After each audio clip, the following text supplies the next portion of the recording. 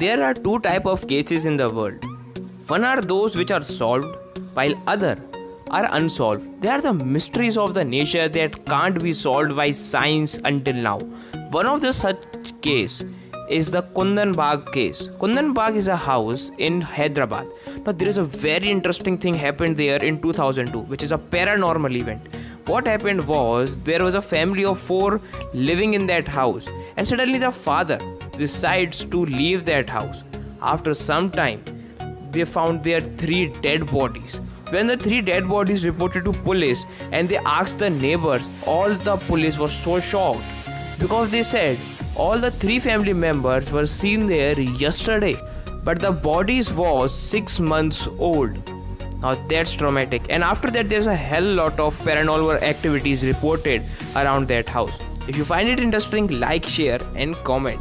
Thank you very much.